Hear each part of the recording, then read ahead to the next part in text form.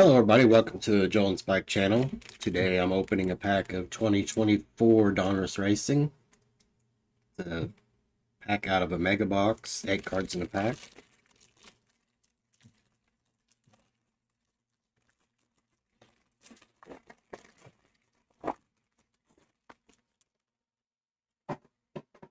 And we're going to get Corey LaJoie, Alex Bowman, Christian Eckes. Got Burning Rubber, Corey Heim. We got the Optic of Ty Dillon. Denny Hamlin. Ryan Blaney.